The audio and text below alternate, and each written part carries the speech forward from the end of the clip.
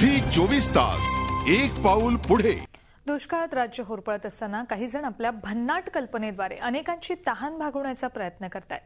बुलडाण्यातला एक तरुण रखरखत्या उन्हात अनोख्या प्रयोगाद्वारे लोकांची तहान भागवतोय. आपला जिल्हा आपली बातमीमध्ये पाहूयात. नेमकं या तरुणानं केलंय तरी काय?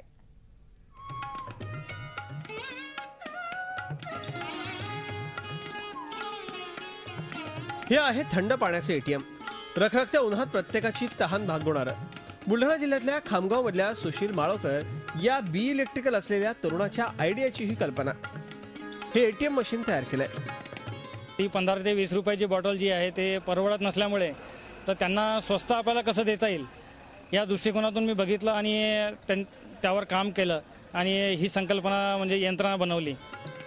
सुशीलने यासाठी एका मालवाहक गाडीचा वापर केलाय. त्यात एक हजार लिटर पाण्याची टाकी बसवली आहे. त्या टाकीत थंड पाणी भरलं जातं. जवळपास चोवीस ते छत्तीस तास ते पाणी थंड राहतं. या टाकीतच त्यानं कॉईन बॉक्स बसवलाय. त्यात एक रुपयाचं नाणं टाकल्यावर नळातून थंड पाणी मिळतं.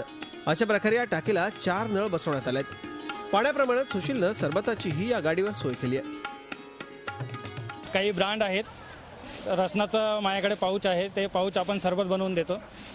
त्याच्यामध्ये शुगर ॲडेड आणि काही व्हिटॅमिन युक्त ते पाऊच आहे. कुठल्याही जर हॉटेलवर जर गेले तर दोन रुपयाचं एक पाऊच किंवा पंधरा रुपयाची एक बॉटल भेटते.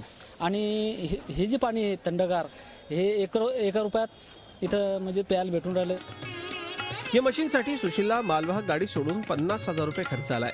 आता त्यानं मशीनच्या पेटंटसाठी अर्ज केलाय. ते मिळाल्यावर मागणीनुसार ना नफा ना तोटा या धर्तीवरती हे मशीन तयार करून देणार असल्याचा त्याचा मानस आहे. जे चोवीस ताससाठी संतोष लोखंडे बुलढाणा. झी चोवीस तास एक पाऊल पुढे.